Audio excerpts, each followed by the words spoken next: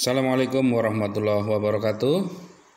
Eh, pada hari ini ya kita akan mulai masuk ke materi sekaligus praktek bagaimana caranya kita berjualan.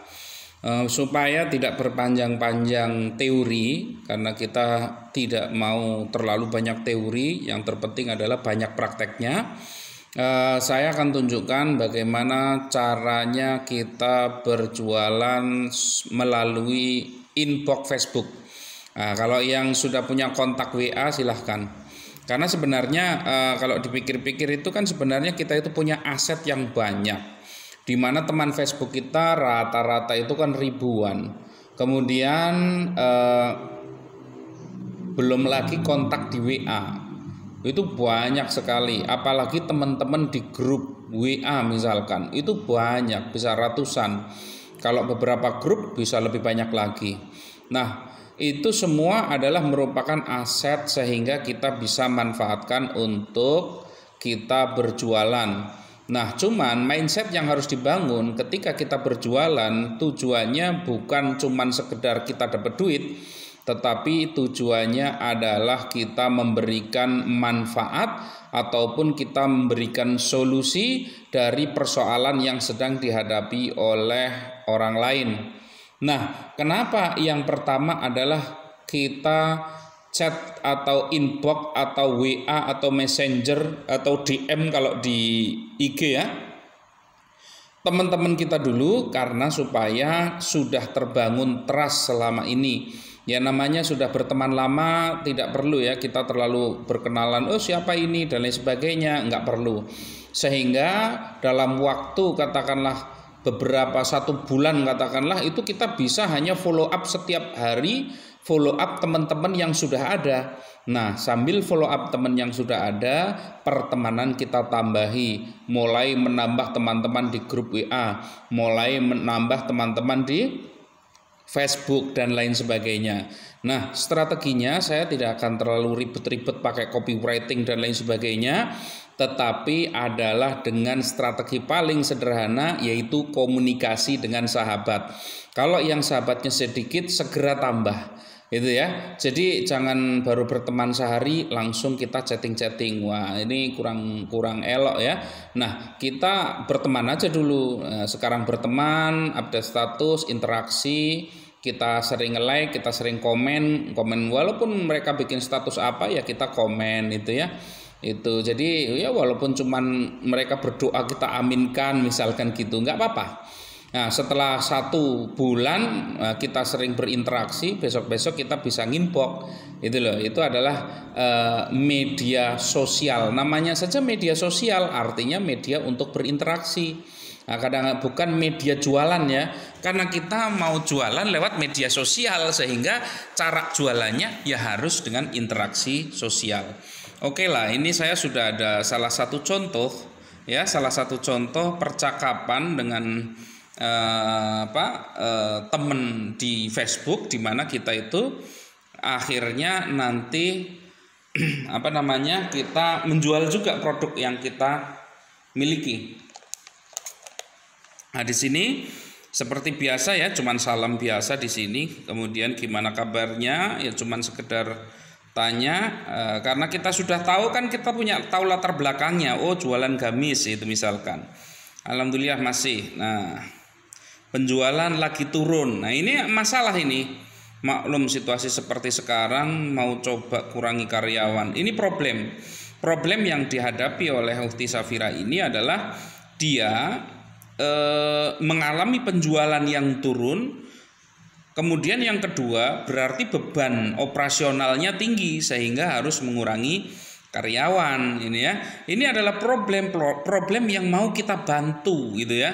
Nah, mungkin kalau teman-teman mungkin uh, ngimpok bukan itu masalahnya. Misalkan masalahnya, wah gimana suami saya itu penghasilannya sedang turun uh, atau habis dipecat atau usahanya sedang nggak lancar dan lain sebagainya. Kita bisa kasih solusi gitu ya solusinya tentunya sesuai dengan problemnya ya jualan online aja pun misalkan gitu atau uh, seorang suami yang lagi nganggur uh, coba jualan online aja ini ada produk gampang yang apa produk murah dan menarik dan gampang dijual profitnya tinggi misalkan begitu ya. Nah ini. Nah, jadi ini adalah kemudian kita berinteraksi biasa jangan langsung nafsu jualan ya. Hmm, ini nanti teman-teman boleh sambil baca lah ya. Hmm, ini sambil baca nanti kita berinteraksi yang alamiah. Nggak usah terlalu eh, apa namanya nafsu untuk menjual. Ini ini habis mau gimana admin banyak nganggur karena sekarang kan sepi. Promosi masih dilakukan tapi hasilnya nggak setinggi dulu. Mau saya kurangi dua admin. Nah, ini gini. Ini adalah problem. Ini sebenarnya problem seperti ini banyak dialami oleh orang-orang di sekitar kita ya sedang yang punya usaha itu. Yang jadi karyawan saja mungkin juga problem ketika katakanlah eh, pemasukan berkurang dan eh, harga meningkat dan lain sebagainya ini problem juga. Nah, ini. Ini ya. Nah ini mulai saya di sini Gini aja, kasihan kalau mereka harus diberhentikan, sementara mereka butuh kerjaan juga. Mau nggak saya kasih peluang bisnis lain yang insya Allah bisa nambah pemasukan plus biar adminnya produktif. Ini kan namanya mau menawarkan solusi. Jadi bukan cuma sekedar mau jual, tapi kita menawarkan solusi, gitu ya. Ini terus saya sampaikan. Ya. Di sini kan ada program pemasaran produk digital menarik dan mini modal. Eh, teman-teman, uh, nanti ini saya screenshot saja ya. Jadi biar teman-teman nanti bisa baca dari awal sampai akhir biar lebih mudah itu ya, biar lebih mudah lah. Jadi biar biar enak bacanya itu ya. Oke, uh, gitu dulu ya. Jadi nanti silahkan ton, uh, baca screenshot dari percakapan ini ya screenshot dari percakapan ini ini saya scroll ke bawah cukup panjang. Inbox satu orang itu ternyata panjang. Tapi teman-teman kalau dalam satu hari misalkan kita bisa nginbox misalkan sehari 30 orang sementara dari 30 karena mereka teman semua dan 10 closing artinya eh, dari menjual 30 10 closing Ya dari profit yang kita dapat kalau teman-teman affiliate eh, berarti 15.000 kali 10 itu sudah ketemu eh, 150.000. Nah, kalau teman-teman yang sudah punya produknya sudah beli jual produk sendiri eh, itu berapa tadi ya? Berarti harganya eh, berarti dapatnya 300.000 gitu ya. Ini. Oh ya, sebentar, ada yang menarik. Gini ketika saya ini karena nanti kalau cuma screenshot agak bingung. Ini. Ini cara kadang-kadang orang nanya apa namanya mana ya? Ah, di sini aja lah. Dari sini ya.